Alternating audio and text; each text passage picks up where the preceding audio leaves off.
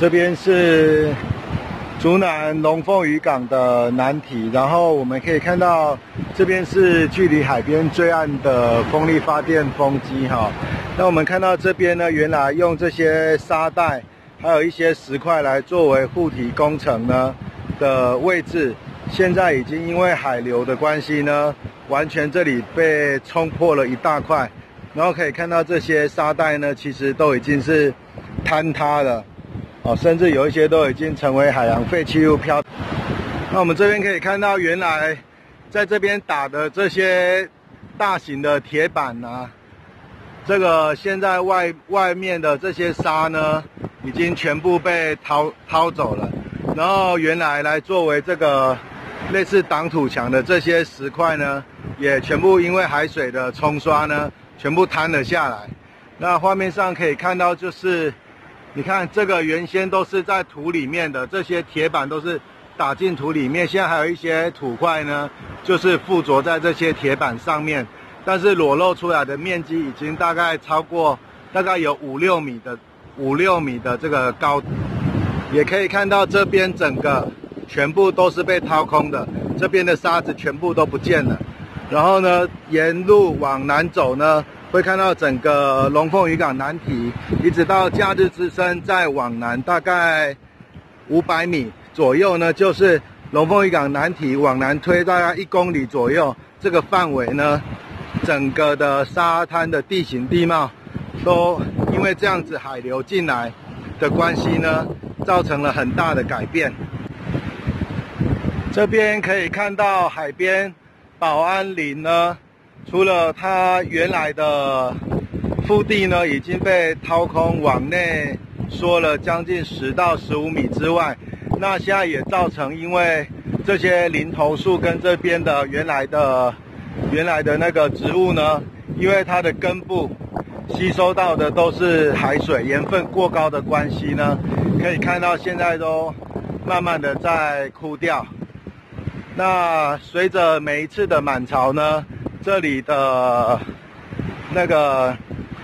沙子呢，就不断的被掏空，然后严重一点就会整块的这样子，类像坍方这样子坍下来。这里是近岸掏空比较严重明显的地方，就是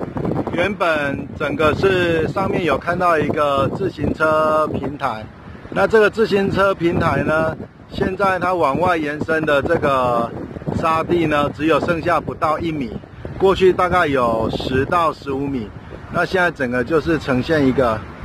很很大的一个斜坡的状态，然后可以看到这边呢，整个就是一个滑坡，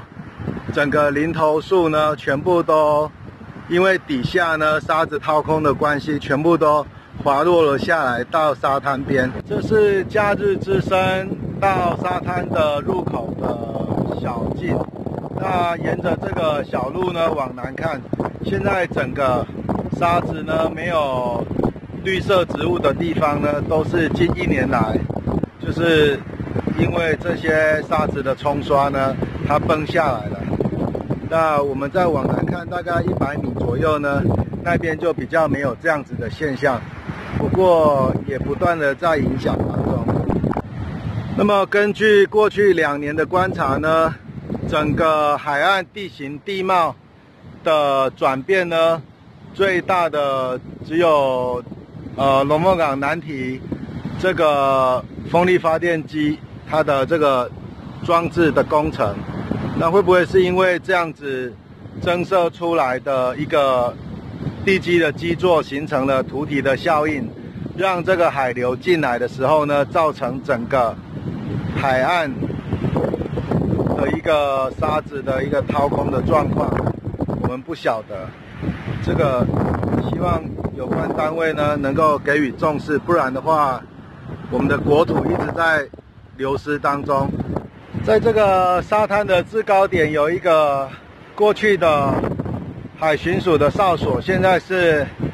苗栗县的青年创业基地。那以前这边呢？有一个很大的土堤，现在呢可以看到这个土堤离这个废弃的哨所最近的地方，剩下不到一米，可能依照这个速度，在一两年当中呢，这栋建筑物就会变成围楼。本来在这边打的地界桩已经全部都倒下去，然后被海水冲走了。那刚才报道的是苗栗县竹南假日之声，